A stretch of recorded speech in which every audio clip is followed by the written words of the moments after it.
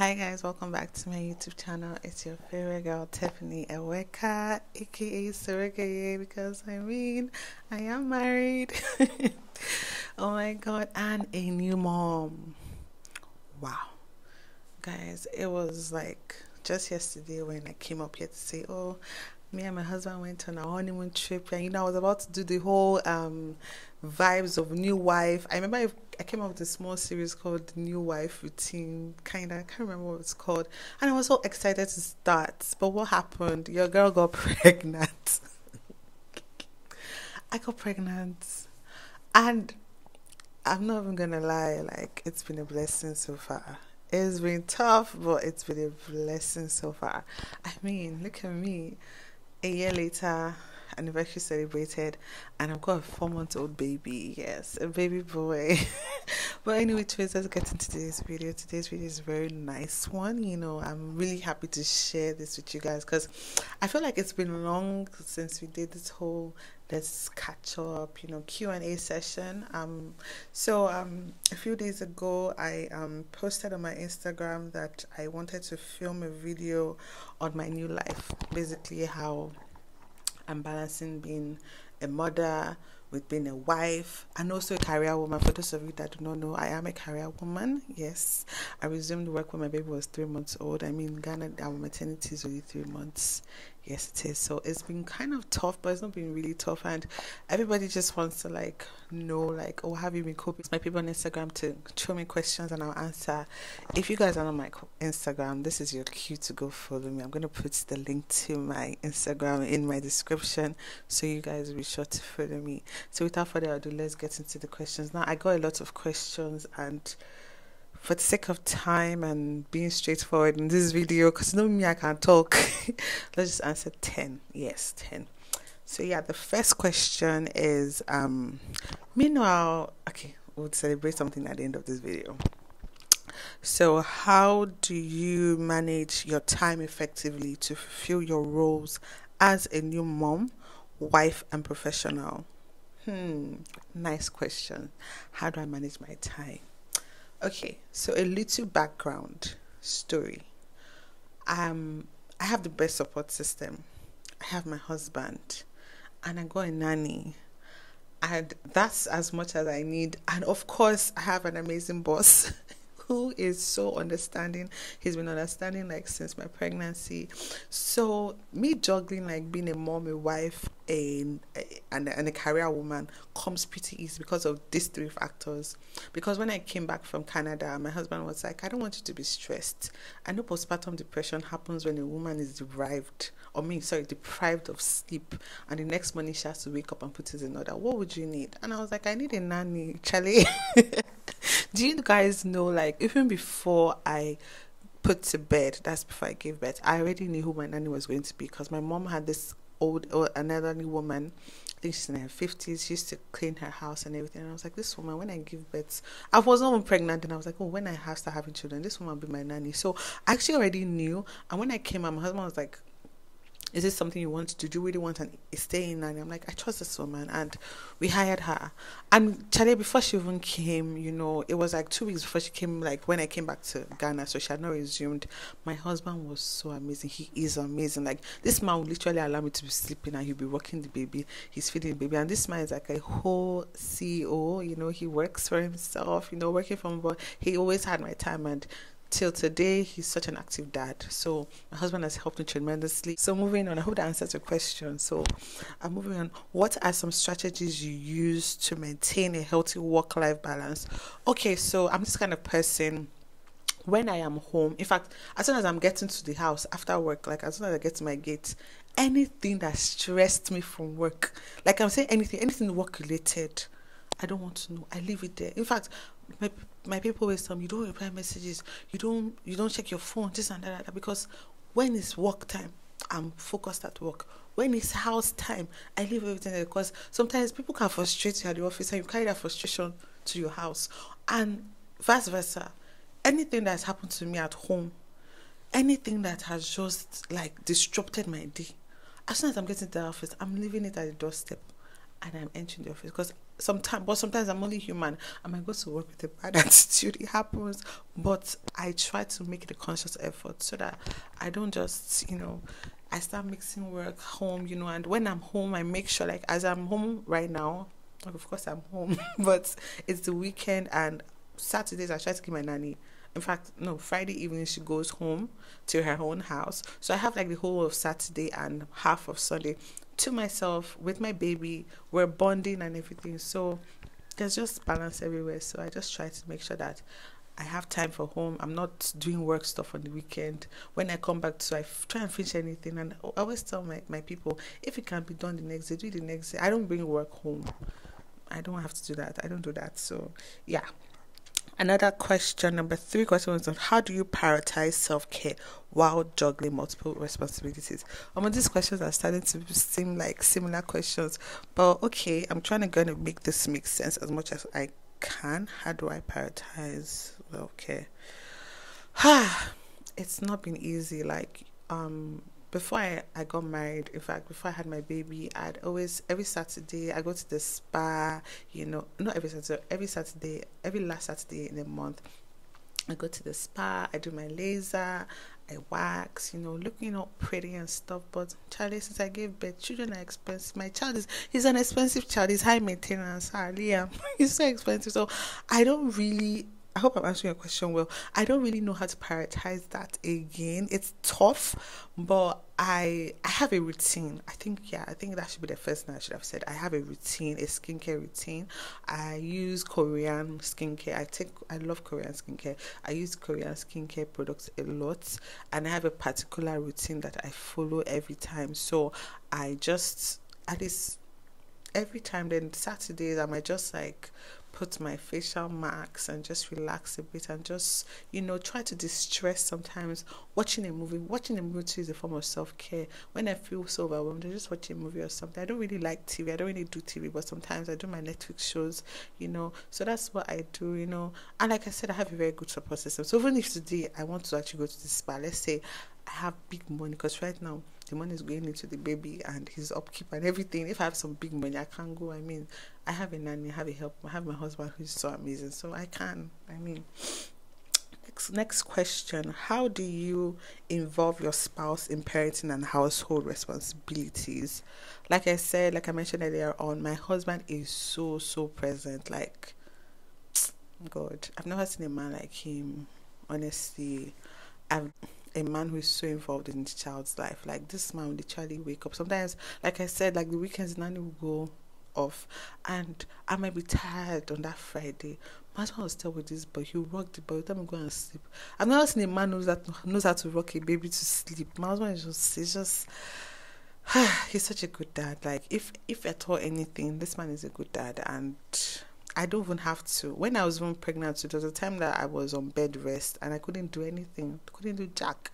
My husband was the one cooking for us, so and I just feel that's how it's supposed to be. And my husband more money than me, like more money. When I say more money, like this guy is loaded. he was so sound dragging his leg. But what I'm trying to say is that he's still so humble. He's still a very humble man. It's crazy. I don't know how he does, but I'm just so blessed. You know, this, is not a question. Next question: How did you lose the baby fat? Um, guys, breastfeed or pump. It's the way. You know, when I became pregnant, like after I think I got to my third trimester, I became like an elephant, and I was like, "How will I lose this weight? How?" how do I lose this weight? You know, I was very, very um, insecure. But like my mom kept on encouraging me that when you start breastfeeding, you just lose weight. I was like, Are you sure? I was reading online. Is this thing true? You know, I was like, ah, is it true? Ah, I don't know if it's true. But I was like, okay, maybe it's true. So I was like, okay, fine, no problem. And you know, like I don't know if I mentioned it. I think I mentioned it one of my vlogs. The baby does not breastfeed directly, so I pump. So I started pumping milk. You know, I I get a lot of milk, so I'm pumping, pumping, pumping, pumping, pumping. And at some point, ah, everybody was like, "This guy, you're going lean." In fact, I lost so much weight that, in fact, I'm I'm I don't speak bad English. I am I am not as fat as I was even before I got married. Like when I was when I was getting married, I was weighing. I'm not sure to say this, I was weighing 88 kg. I was trying to lose weight for my wedding, when I became pregnant, I, I, I got to 105 kg. As I speak to you now, I'm about, in fact, before I came back, I was like about 78. But you know, I've been eating food here in Ghana, so I'm now like, um, I think last I checked, I was like 82 kg. That I, I lost so much weight, like I lost a lot of weight. So it can just, it's only the breast milk, like breastfeeding or pumping. It really does help. And when I later on Googled, pumping naturally helps you burn calories. So even if you're not breastfeeding, if you're not losing, if you're not expressing, doesn't matter. Just be patient with yourself. It will go. Some people have been telling me that at six months I'll get fat. Like when the baby is six months old, I'll get fat. But let's see. I'm yet to see that. But yeah, that's that's. I didn't do anything. That was just what happened. I think expressing a lot, and I wasn't really eating at some point because I was really depressed when I first came birth. But like I said, anything what works for me might not work for you. So don't don't beat yourself about it. It's not a problem. So moving on, what are some challenges you faced in balancing your different roles and how did you overcome them? Like I said earlier on, and I will still say, I really don't have challenges because I have all the help in the world. My support system is A1. I have a very understanding, amazing, supportive husband. Shout out to you, baby. I have a nanny, I have a help, and I know people are like, why is she not her mom in this equation?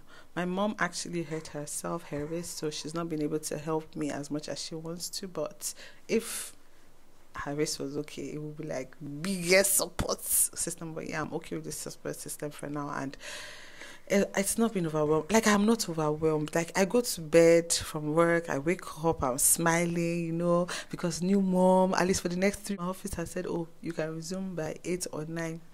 So you just pick a, a routine, routine schedule that works for you. And I've been happy. Like I don't have eye bags. I'm just enjoying this motherhood thing. And my baby, ah, He's the person I'm supposed to have given a shout out to at the beginning of this vlog.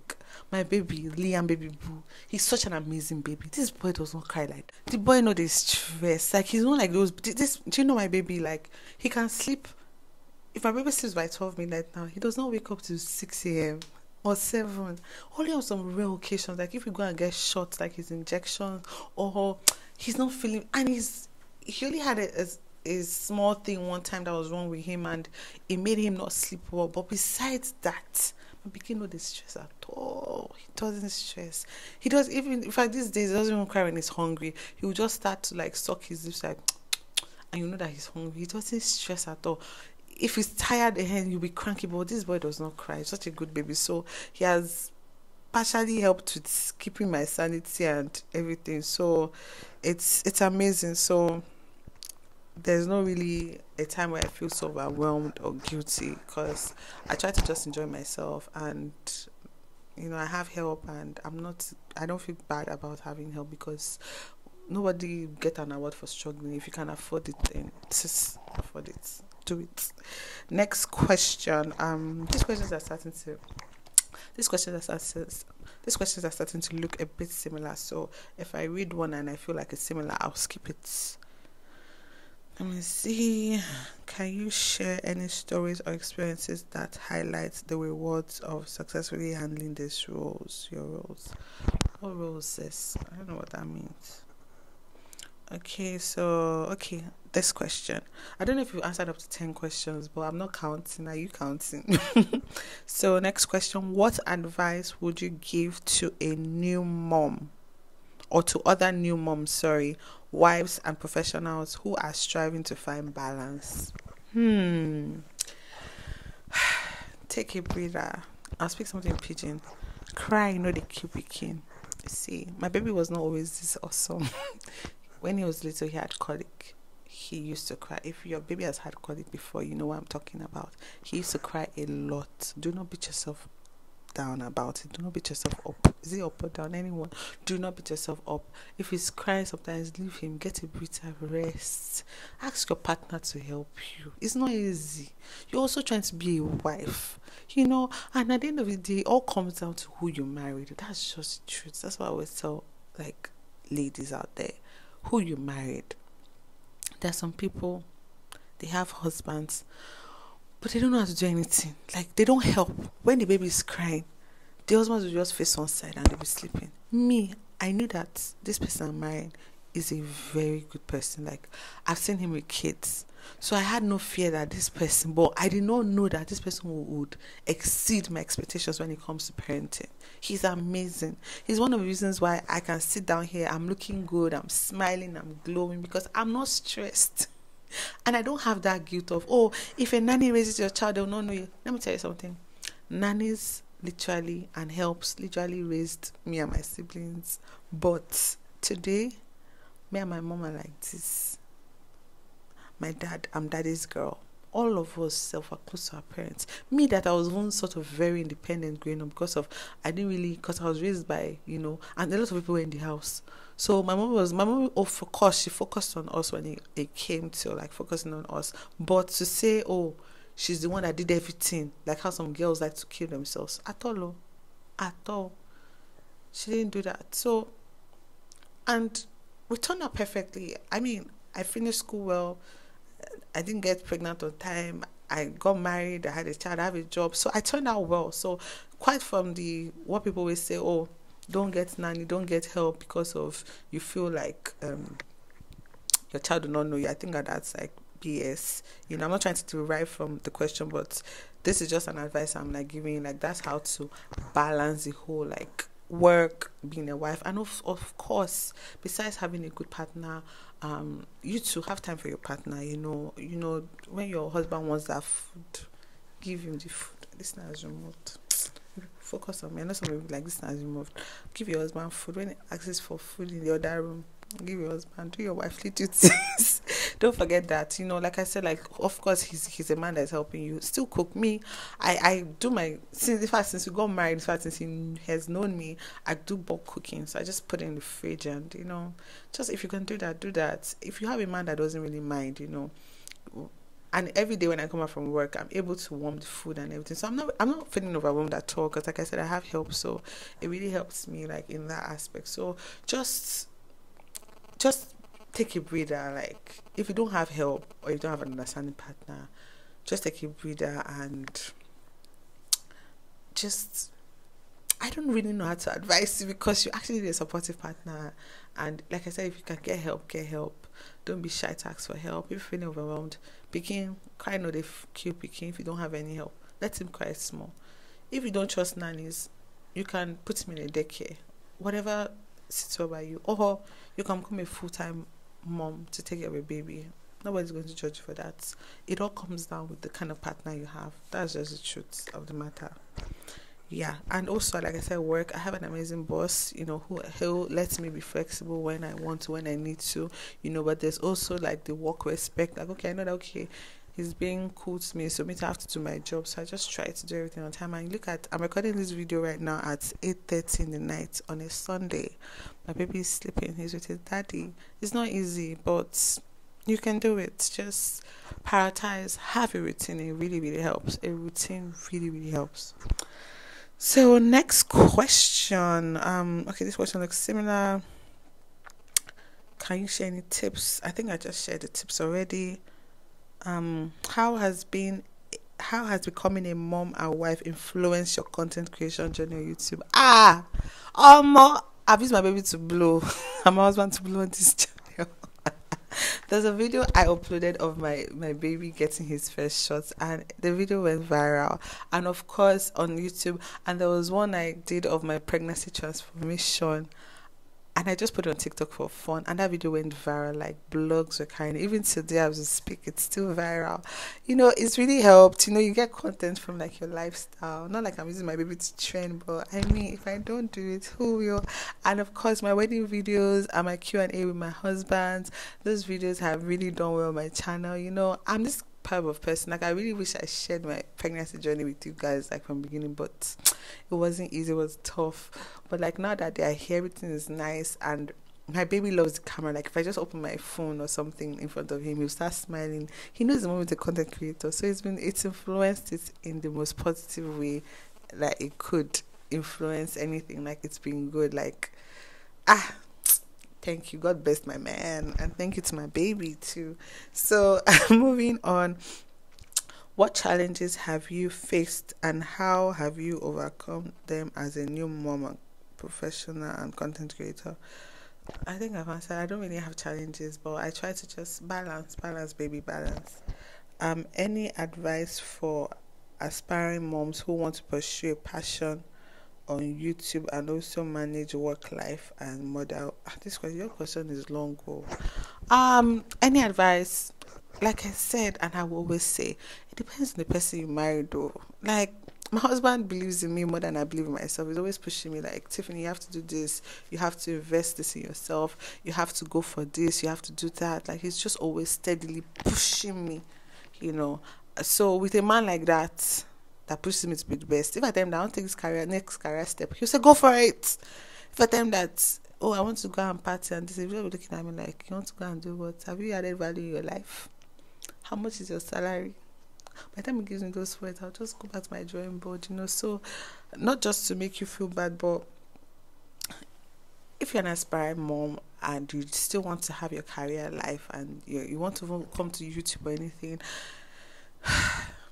I don't know, just go for it, you know. And if your partner is not understanding, nothing God cannot do pray. My husband has not always been this perfect like I make him to be. It's been years upon years because we we dated for a while, you know, knowing each other, I'm coming each other as best friends. But once about him as a person, this is not just because I'm his wife, is that he always wants the best for people. He wants to see people grow. My husband, if if you're my husband's friend and you're not growing, like who cut you off? Because how can you be with me and you're not growing? Like you're not taking advice. And my husband, there's no advice he has given me that if I take it or I've taken that has ever failed me. So he's amazing like that, and that's just basically it. It just boils down to that.